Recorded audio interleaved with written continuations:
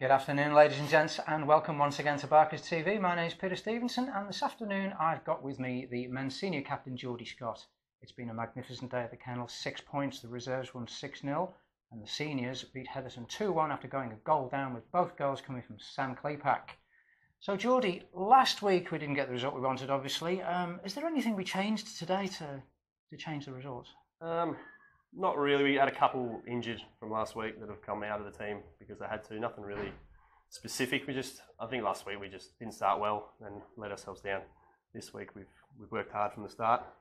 Still slow to get into the game, but we've eventually rolled into it and worked harder than them. That's what Yeah, we've won. So. I, I thought that uh, they put us under a lot of pressure at times. Uh, Yeah, I did. thought Mark did really well, Did. but uh, we took our chances. We did indeed. I mean, yeah, it was it was a slog. I mean, I couldn't have been good to watch, it, but um, got to have games like that, and you've got to win them. So we push back up towards the top four, and hopefully we can win again next week. And Yeah, so we've we got go. Doncaster Rovers at home next week. Uh, now they're up towards the top. I saw them play North Caulfield. They're a good side. So um, how are we going to counter them?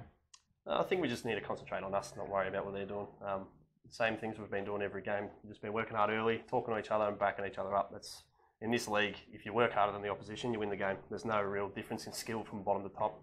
That's So true. you've just got to work harder. And on, again, on the day, if they want it, want it more than us, then they're going to be a challenge. So we'll just have to bring everything we got.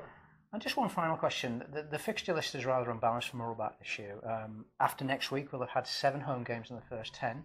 We've only got four left in the last 12. A lot of travelling, and we haven't got any points on the road yet. Mm. Is there a mental change when you when you play away from home?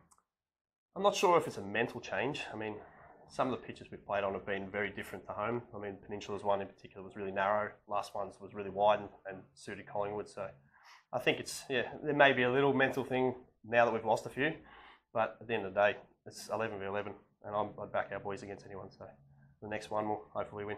Look forward to that. Thanks for your performance today. Well No done on the win, and we'll see you next week against Donny. Rovers. Thank you. That's all for today, ladies and gents, and uh, it's goodbye from me and goodbye from Geordie, and we'll see you again soon on Barkers TV.